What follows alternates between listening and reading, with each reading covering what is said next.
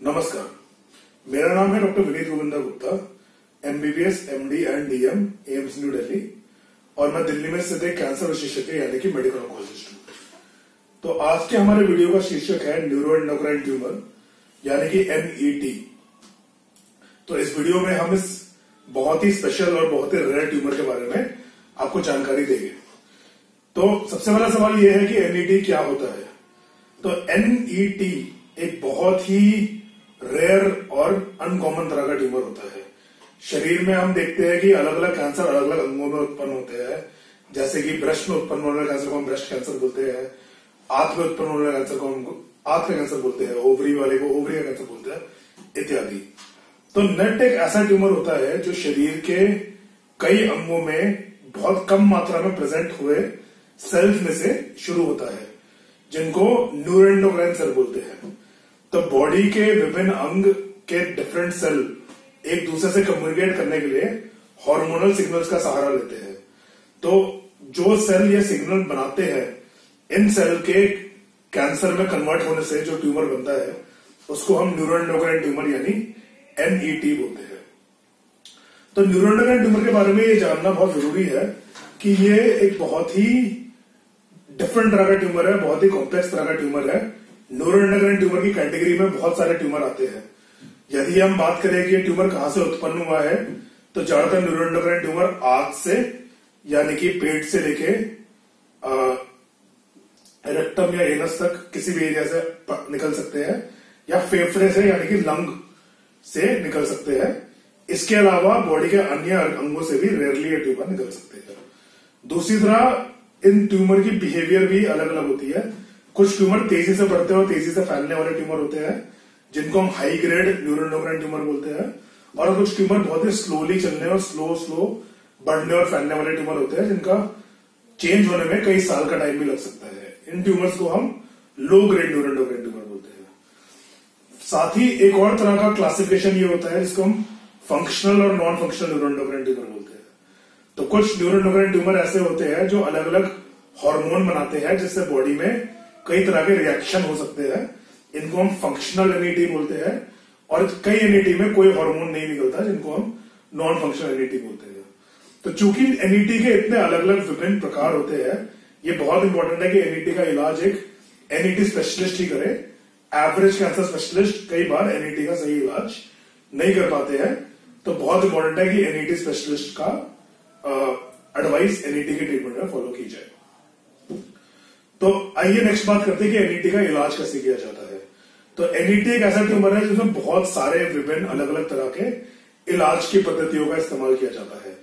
Major तौर पे इसमें surgery observation targeted therapy immunotherapy biological या हार्मोन थेरेपी कीमोथेरेपी और रेडियोन्यूक्लियर थेरेपी की बात हम नॉर्मली करते हैं।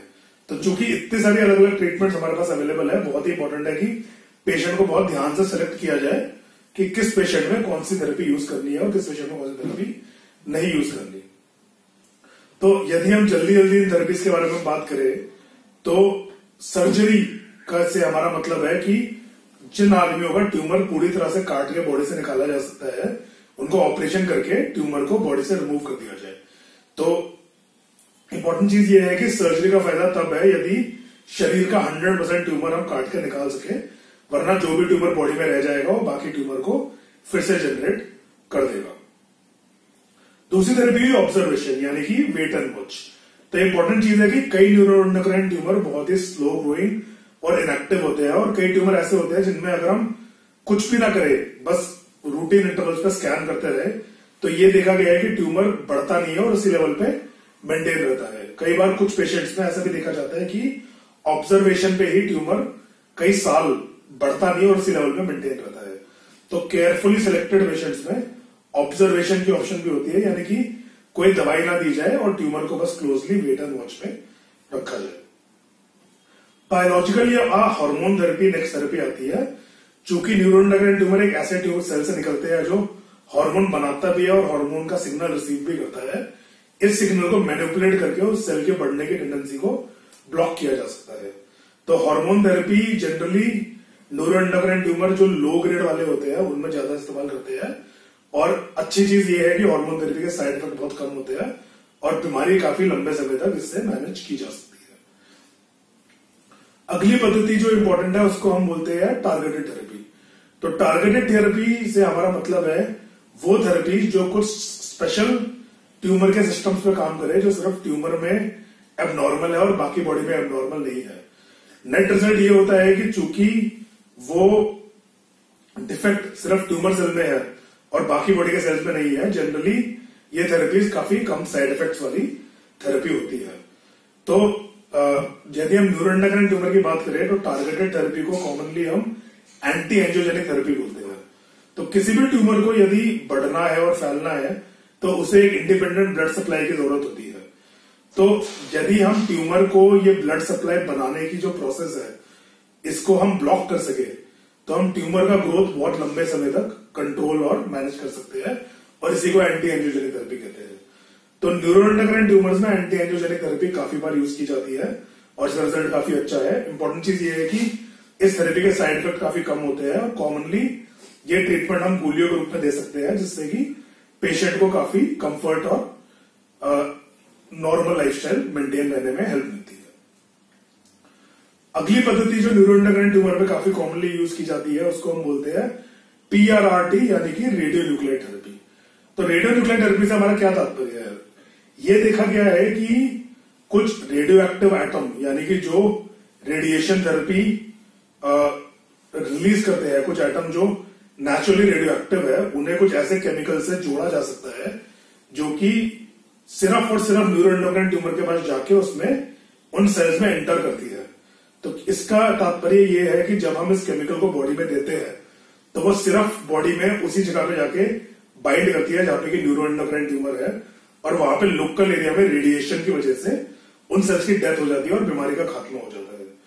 तो ये एक बहुत ही यूनिक और मॉडर्न थेरेपी है, जिसको ज़्यादातर लो ग्रेड न्यूरोएंडोक्राइन ट्यूमर्स में यूज़ किया जाता है, और देखा गया है कि लोगों को बहुत ही अच्छा रिस्पॉन्स इस ट्रीटमेंट से मिलता है स्पेशली जिन लोगों की फैली हुई बीमारी होती है।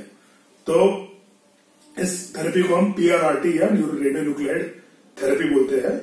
और इंपॉर्टेंट चीज़ ये है कि इस थेरेपी के बहुत ज़्यादा साइड इफेक्ट्स नहीं होते और बहुत ही सेफ़ एंड इफ़ेक्टिव ट्रीटमेंट ये होती है।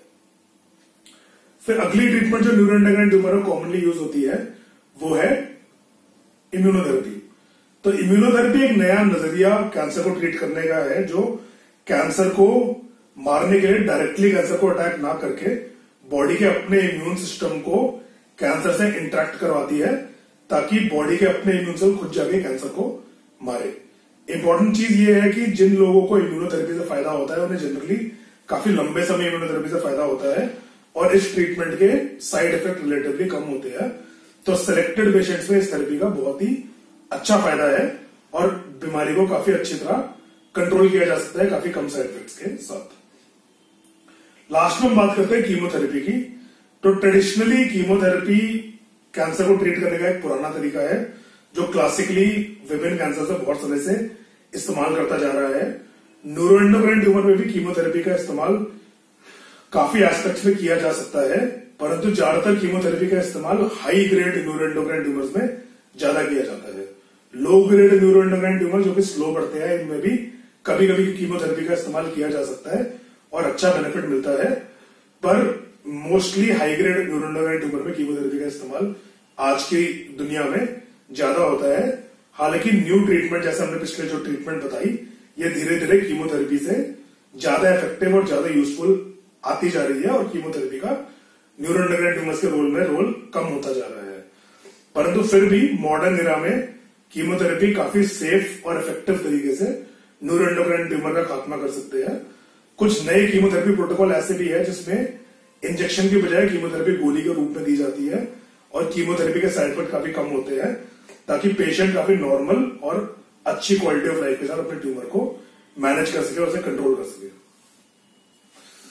तो जब हमारे पास इतना बड़ा आर्सनल है, ये सात आठ थेरेपीज हमारे पास अवेलेबल है न्यूरोएंडोक्राइन ट्यूमर को मारने के लिए तो इंपॉर्टेंट क्वेश्चन ये है कि कौन सी थेरेपी किस पेशेंट में यूज़ की जाए। तो दोस्तों, ये एक अच्छे मेडिकल ऑन्कोलॉजिस्ट का काम है कि वो इस आर्सेनल में से डिसाइड करे कि कौन सी ट्रीटमेंट किस पेशेंट के लिए अच्छी है।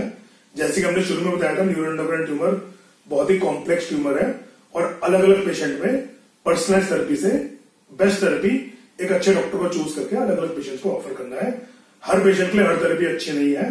कुछ पेशेंट्स के लिए पीआरआरटी एक अच्छी ऑप्शन रहती है, कुछ पेशेंट्स के लिए इम्यूनोथेरेपी एक गुड ऑप्शन रहती है, कुछ पेशेंट्स के लिए टारगेट थेरेपी एक गुड ऑप्शन होती है।